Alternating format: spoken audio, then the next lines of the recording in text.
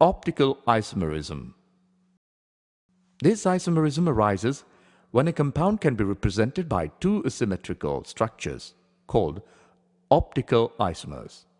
The two isomers are structurally the mirror images of each other and non-superimposable and do not possess the plane of symmetry.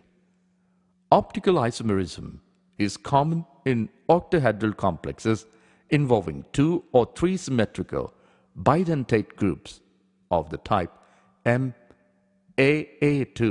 X2 and MAA thrice and MAA B2 X2. Example.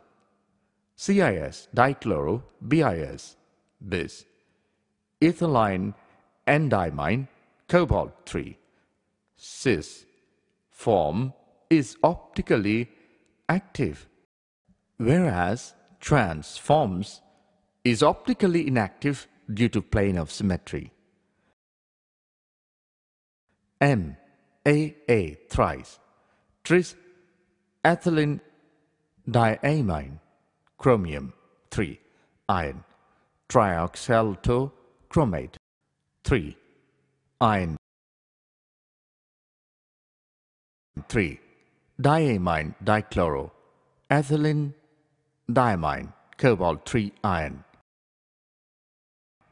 Complexes containing hexadentate ligand EDTA show optical activity. Example CO-EDTA, ethylene diamine tetraacetocobaltate 3 ion. Complex of the type MABC DEF type also exhibit optical isomerism. The optical activity has been observed for chelated tetrahedral and square planar complexes, but only rarely. In tetrahedral complexes, only the type which occur in bischelate with unsymmetrical ligand has been detected. These have has been found in Be2, B3, Zn2 and Cu2 complexes.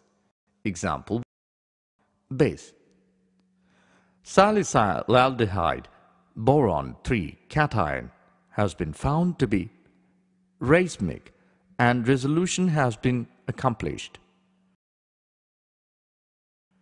The two enantiomers of bis benzoyl acetonato beryllium 2 Square planar complexes are seldom optically active.